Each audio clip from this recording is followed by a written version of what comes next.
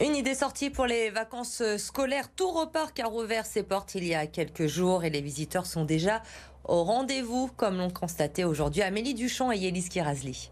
Le parc a réouvert samedi après un mois de fermeture et euh, les visiteurs sont de retour euh, dans euh, ces travées du parc, les yeux émerveillés. Alors je suis avec Thomas Gervais, c'est le directeur général du parc.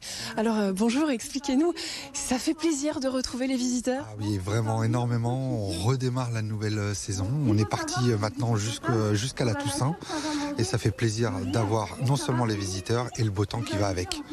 Alors à quoi est-ce qui sert ce mois de fermeture Alors le mois de fermeture, pour l'aspect technique, il nous sert à l'entretien, la maintenance de l'ensemble du parc, donc des attractions, de l'aquatique, mais aussi de la partie zoologique, enclos euh, et loges intérieures. Mais ça permet aussi de faire les bassins, euh, de nettoyer l'ensemble des bassins euh, pour les animaux.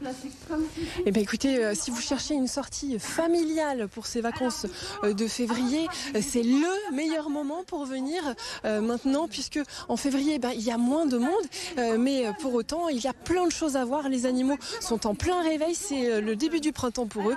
Et vous allez pouvoir voir plein de choses, notamment ici avec les hippopotames.